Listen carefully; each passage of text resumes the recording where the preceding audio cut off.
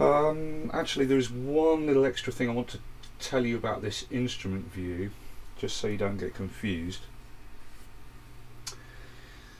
Um, okay, we're in instrument mixer view. The pot at the top, which is and only channels on the mixer that have an instrument plugin installed will have a, an LED showing a display. These are all audio tracks so they're blank. Okay, so these three buttons are functioning as some function for the instrument for the selected channel in the mixer and that is to open the instrument for these three channels. Okay. Now do you remember when we were in plugin view and we're looking at plugin mixer view and when it's in this plugin mixer view we've chosen which slot this pot is going to be the parameter for per channel and the param parameter that this pot controls is opening the plugin in the selected slot. So for example, if I go to the eighth channel here, okay, if I press this pot, it will open the third plugin, which it does, it opens the tape delay, and then it goes into plugin channel view to edit it.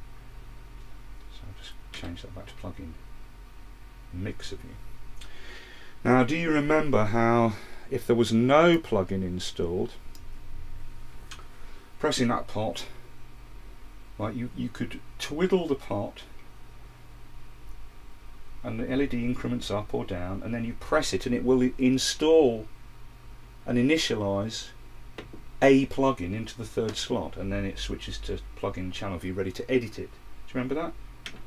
And if there's already a plugin in the slot, if you just press it, it'll open. If you just press the pot in plugin mixer view, it will open.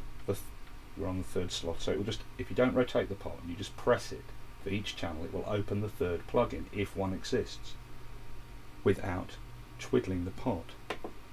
It opens whatever plugin is installed. But if I then just twiddle the pot a tiny bit and press it, it opens a different plugin.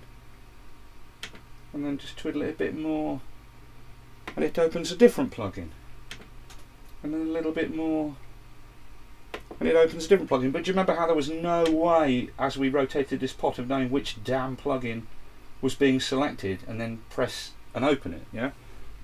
You know uh, do you remember that? It's well it's you know it's the same with instruments you know. Unfortunately with the plugins as you twist this pot it is selecting a different plugin when you're in mixer view for the third slot whichever slot is selected.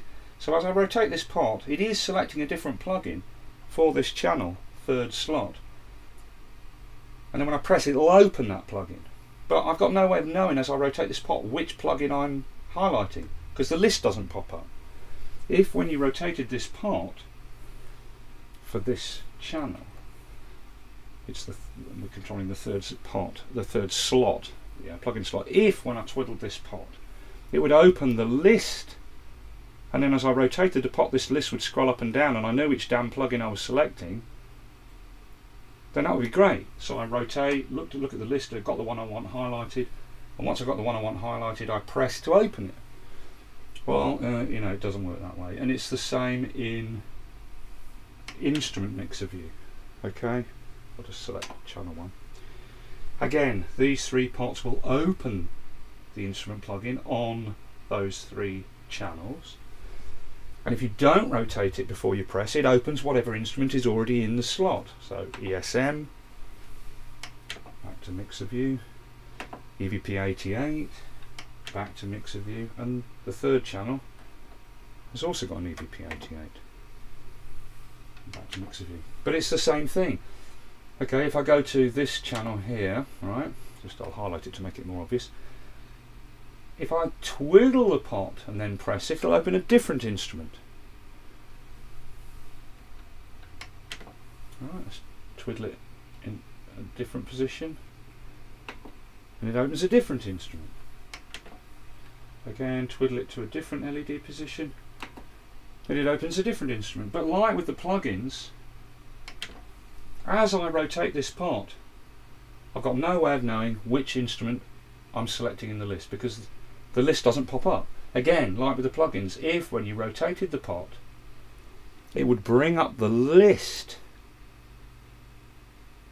and then as you rotated the pot it would scroll up and down until you had the correct instrument highlighted and then you pressed it and it would open it. Brilliant, but sadly, that's not how it is. So, just like with the plugins,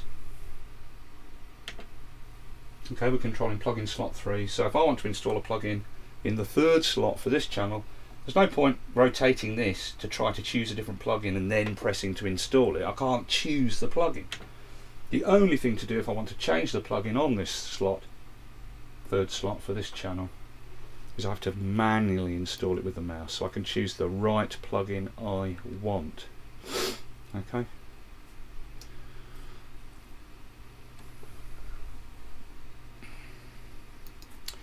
And it's the same in instrument mixer view. I've got to choose the instrument I want manually with the mouse on that slot. Alright. It's a shame that really, isn't it? I mean, if only, can you imagine how brilliant it would be if you could just twiddle this part and as you did, it would bring up the list of instruments and you just twiddle up and down with the LED until you had the right instrument highlighted in the list and then pressed it and it would install that instrument into the slot and open it ready for editing. But unfortunately you can't do everything from the front panel of the BCF.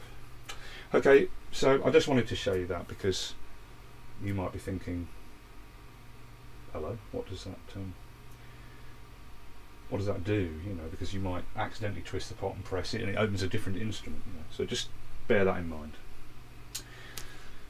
So that's everything to do with um, the instrument editing, and now we can look at the um, the sends mode. That's send, sends mixer view and sends channel view. Okay.